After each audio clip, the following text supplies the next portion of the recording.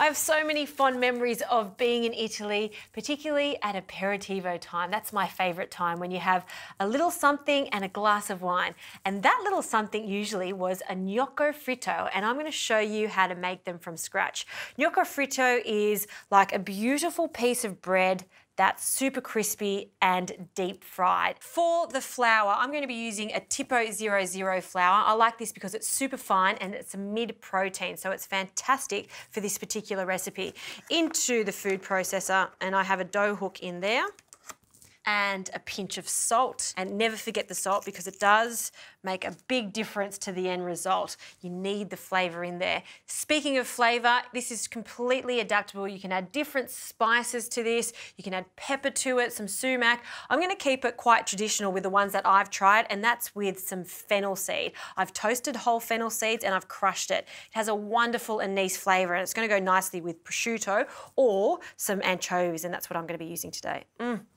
I love that smell so much. Now for some yeast. Now what I have in this bowl is some instant yeast. This is seven grams of instant yeast. I've added a little water and some of that Tipo 00 flour and allowed it to stand for about 15 minutes in a warm spot. By doing that, you're activating the yeast and you can see that it's alive because it's all bubbly and foamy and you want it at this stage before you add it with the other ingredients. So I just want to give this flour and dry ingredients a mix first. So we'll start that just to make sure that all the fennel and the salt is distributed evenly. We'll stop that. And we'll add our yeast mixture now. And scrape down the sides because we need all of that in there. Lid goes back on and we're going to start the kneading process. So this is going to take about two to three minutes.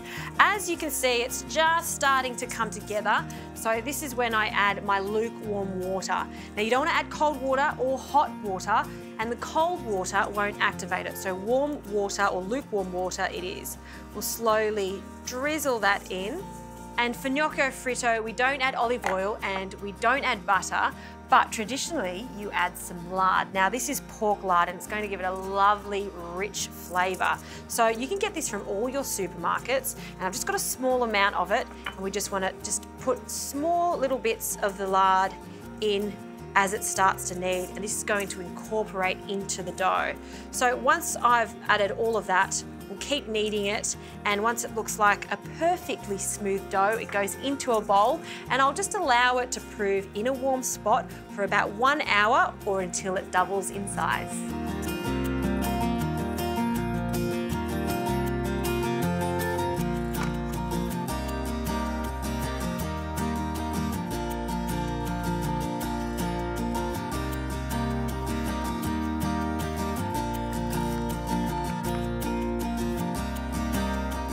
This has doubled in size and doesn't it look fantastic? It looks like a fluffy cloud that you just want to jump into. Okay, probably exaggerating, but this is the sad part because now we have to knock the dough back. So a little flour onto the bench and we'll just use a scraper just to scrape the dough out and you'll see that it start to shrink again but that's okay because we are wanting to cut this into thin strips so onto the board a little more flour for this because it is a slightly wet dough and we'll just press it out. With a knife, we're going to cut this into quarters and this is just going to make it much easier to deal with. Okay, one, two, and three. And working with one piece of dough at a time, we'll get a wooden rolling pin and just roll it out. Now, if it gets a little sticky, don't worry, just add a little more flour just to your rolling pin and to the dough. This is really rough. It's just little small morsels of crispy dough, so we don't need to be pedantic with the way it looks. So then with a sharp knife, we're gonna cut them just on an angle into strips you can cut these into any shape you like, but just have a look at how thin they are. That's what we're after. We want them to blister and crisp up in the oil. So in it goes, hot oil, 180 degrees, and you'll know that they're ready because they'll go golden brown.